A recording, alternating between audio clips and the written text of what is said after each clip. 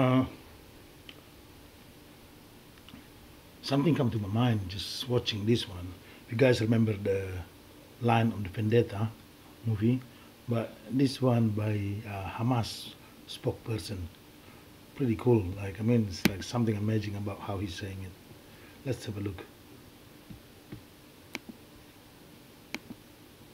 Uh, let me sorry uh, over here quote one of the uh, uh, uh sentences during one of the Hollywood movies of Vendetta, when when he tried to kill him under the mask, and he said that we do not die.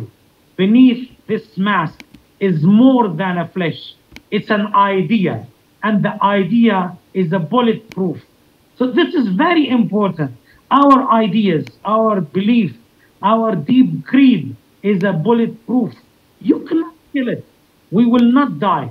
And there is no difference between Hamas, Jihad, and other children of, of Palestine. We are Palestinian and Palestinian. They are resistance fighters and they will continue this thing. One thing that the West, they are not doing, they are not knowing about our people, that the, the, the more you pressurize them, the more you get resistance out of it.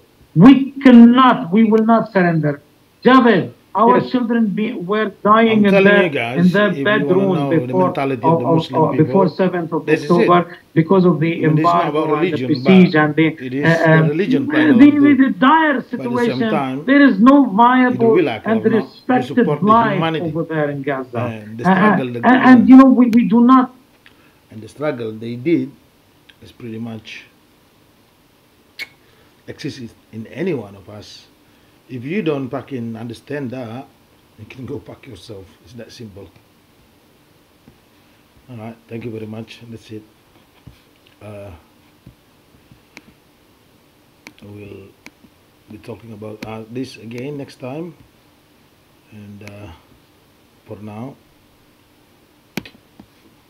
talk to you again.